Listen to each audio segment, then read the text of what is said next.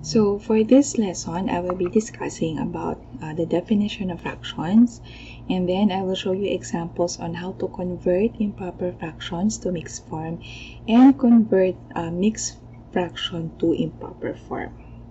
So what are fractions? Okay, so fractions are representations of even parts of a whole. So this uh, means that you have equal size shares or portion of one whole. So for example, you have 3 fourths. So 3 here is what we call as the numerator. And the numerator is the one that represents the number of parts that we have. And then you have 4 is your denominator, which represents the total parts in a whole. So for example, if you have um, a pie and then you divide this equally into four parts, so the four parts there would represent the denominator. And if for example, you will be eating one pie, okay, so what will be left, I mean, if you will eat one portion of the pie, one of the parts, so um, the portion that will be left there would be equal to 3 fourths. Okay, so you can also use fractions for comparison. So, sabihin, nagko-compare tayo ng um, two different things. So, let me give you an example here. Okay, so let's say in a college class of 50 students, 29 are males and 21 are females. So, we can consider here 50. Okay, so 50 is your um, the total number of students. And then, um, this one would represent the part okay and then let's say we will express that into a fraction the fraction of the class that are males so 29 here would be the part that represents the number of the male students and then 50 is the total parts so you have out of 50 students now what about if we will express um, the number of females in terms of a fraction so in that case we can have 21 over 50 so 21 is your numerator and then 50 is your denominator. So let's have another example. Let's say out of 1,000 ships, 11 ships get involved in a maritime accident every year. So if we will consider this in terms of a fraction, so we have 1,000 is the total and then the parts that we have um, that we are comparing to is the 11 ships that were involved in the maritime accident. So we can write this as a fraction. So you have 11 over 1,000. So this is the fraction of ships that are involved in a maritime accident. Okay, so basically we have three types of fractions. So first, you have the proper fractions. So this is one of the most common types of fractions that you encounter. So Here, we say that the numerator is always less than the denominator. So, ibig sabihin, mas maliit yung number dun sa taas kaysa dun sa number sa baba. And ang value nito is always less than 1. So, pag kinonvert nyo siya sa decimal, which I will be discussing um, in the next few uh, days, ang value niya ng fraction na to is always less than 1. Okay, so these are some examples. So you have 3 fourths. So you can see here the numerator is less than denominator. We have 17 over 20. So the numerator is less than the denominator. And then you have 5 over 9. So the numerator 5 is less than the denominator which is 9. Now for improper fractions, here the numerator is always greater than the denominator. So, the equivalent value is always greater than 1. So, ibig sabihin, mas malaki yung number sa taas kesa dun sa number sa baba.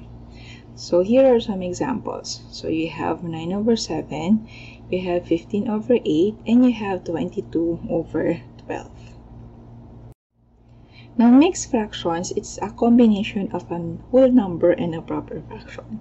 So, the equivalent value is always is always greater than 1. So, for example, here we have 3 and 1 eighths. So, if you notice, you have a whole number and then merong isang proper fraction. And then here you have 5 and 18 over 21 and you have 1 um, and 4 over 7s.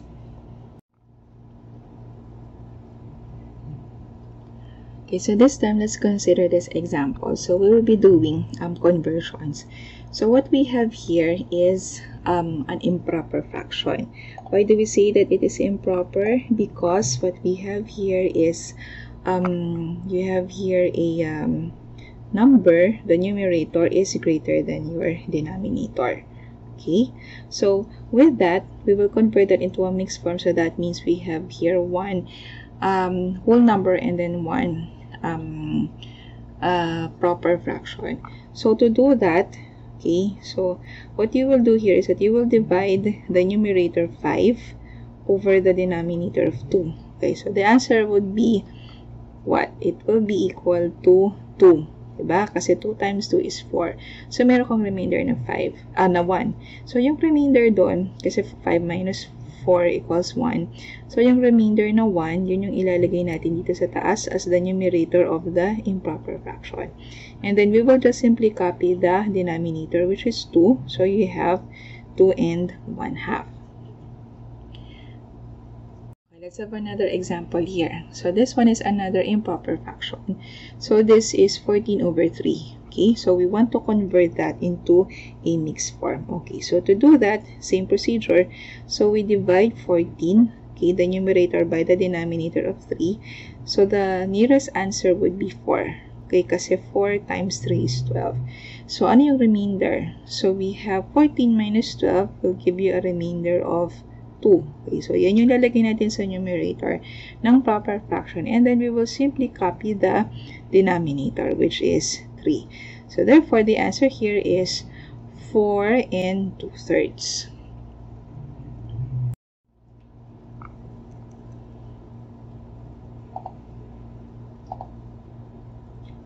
Okay, so this time let's consider this example. So you have 2 and 3 fifths, which is an improper fraction. I mean of mixed form. So we will now convert this into an improper fraction. So to do that, we will uh, multiply your denominator, which is 5, to the whole number, which is 2. So makuha natin sagot dyan is 10. And then, after multiplying this 2, we will now add the product to the numerator. So magiging 5 times 2 is 10, plus 3, we have 13. So this one will be your numerator and then you will just simply have to copy the denominator which is 5. So therefore 2 and 3 fifths is equal to 13 over 5. Okay, so for the next example, we have 5 and 2 sevenths and we will convert this into improper fraction. Okay, so to do that, so first we will multiply the denominator by the whole number. So 5 times 7 will give you 35. And then we will add 35 to 2. So 35 plus 2 is 37. So the final answer here will be 37 is your denominator and I mean your numerator and then copy the denominator here which is 7. Yeah. So therefore the final answer is 37 over 7. Okay, so for this lesson, uh, after the lesson, you should be able to express a fraction into its lowest or simplest form. Okay, so let's consider this example. So we will reduce 2 over 10 into lowest terms. Okay, so how do we uh, say or when can we say that the fraction is already in the lowest terms? So lowest terms na siya kapag yung um, factors ng numerator and denominator is parehas ng prime numbers. Okay? So, therefore, in this case, yung 2 over 10, ang greatest common factor nila, ang tinatawag natin ng GCF is 2.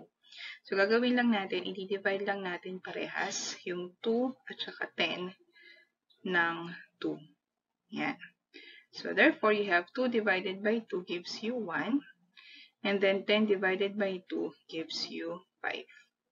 Yan. So, therefore, yung fraction na 2 over 10 is also equal to 1 fifths. Okay? So, again, since parehas prime numbers na yung factor ng numerator and denominator, that means this one is already called the fraction in its simplest form. So, let's have another example. So, this time you have 49 over 70. Okay, so in this example, uh, we will consider the GCF. So, yung common factor between 49 and 70 is 7. So, gagawin natin, i-divide lang natin parehas by uh, 7. So, 49 divided by 7 and 70 divided by 7. Okay, so 49 divided by 7 gives us 7. And then 70 divided by 7 gives us 10. Okay, so therefore, yung um, common factor between 7 and 10, uh, and 10, parehas na siyang, ano, ang common factor na lang nila is 1. So, parehas ng prime numbers yung 7 and 10. So, therefore, we can say that 7 over 10 is now the lowest term or the simplest form of 49 over 70. Okay, let's try another example. So this time we have 33 over 121. So the common factor between um, 33 and 121 is actually 11. So i-divide natin parehas by 11. Okay, so 33 divided by 11 and um, 121 divided by 11. Okay, so in this case you have 33 divided by 11 is 3. And then 121 divided by 11 is 11. Okay. So since ang common factor na lang ng 3 and 11 ay 1 at parehas na silang prime numbers, yung um, numerator at denominator, we can therefore say that 3 over 11 is the lowest term or the simplest form of 33 and uh, 33 over 121. Okay, minsan may mga instances na hindi mo agad maiisip kung ano yung GCF ng isang number. So, pag nangyari ito, pwede tayong mag-consider ng other options. Okay, so for example, pwede natin consider yung mga numbers na uh, 2, 3, 5, at saka 7. So, parang gagawin natin siyang continuous division hanggang sa makuha natin yung um, lowest terms niya. Okay, so let me go back here. So, meron tayong uh, 12 over 24. So, kung di mo agad maisip kung ano yung GCF niya, pwede mong gawin dito, divide mo siya continuously. So, ang gagamitin kong number is 2 kasi yan yung pinaka madaling maalala. So, for example, here you have uh, 12 divided by 2. Okay, so we have 6. And then, we have 24 divided by 2. We have 12. So, yung 6 over 12, uh, meron pa siyang common factor. So, dito mas madali na natin maisip. Ano? So, can easily see na 6 to. So, pwede natin silang i-divide parehas by 6. So, we have 1 over, so 12 divided by 6 is 2. 1 half. So, therefore, yung 12 over 24 is also equal to 1 half. So, 1 half yung kanyang lowest term. So, kung mapapansin nyo, itong 2 times 6 is actually 12. So, therefore, ang GCF ng 12 and 24 is, ng 12 and 24 is 12. So, pwede natin itong i-divide. Kung naisip nyo agad ito, good for you. So, uh, 12 over 12 is 1. Okay, so that this one will give us uh, 1, no? And then divided by 2, or 1 over 2. So, parehas lang yung nakuha nating sagot. Whether una mong maisip kung ano talaga yung exactong GCF niya or kahit mag-continuous division ka. Yun lang, pag continuous division, of course, medyo mabagal bago mo makuha yung correct answer. Okay, let's consider another example. So, this time we have 240 over 300. So, in this example, um, usually mga shortcut to, pag nakakita kayo ng mga multiples of 10, pwede nyo na i-cancel yung mga 0. So, in this case, itong dalawang 0 na to, i-cancel ko na. Kasi 1 appearing in the numerator and 1 appearing in the denominator. So, pwede nyo lang ito magawa kung yung mga 0 isa sa dulo. So, kung yung 0 nakapagitna sa isang non-zero digit, hindi mo siya pwede gawin. So, dito lang siya sa dulo. So, therefore, ito, pwede rin nating isulat to as 24 over 30. So, let's consider yung um, continuous division. So, 24 and 30, uh, pwede natin siyang i-divide parehas sa, uh, pwede natin siyang i-divide sa 3. So, kung 3 yan, so 24 divided by 3 is 8. And then 30 divided by 3 is 10. So again, hindi pa to lowest terms. So di-divide natin siya parehas sa 2. Okay, so 8 divided by 2 gives you 4. And then 10 divided by 2 is 5. So meron tayong 4 fifths. So itong 4 fifths, lowest terms na to kasi wala na silang um, common factor except for 1. So parehas na silang prime numbers. So babalikan natin to, okay, actually itong 0 dito kaya natin kinancel kasi ibig sabihin itong kanyang common factor is 10.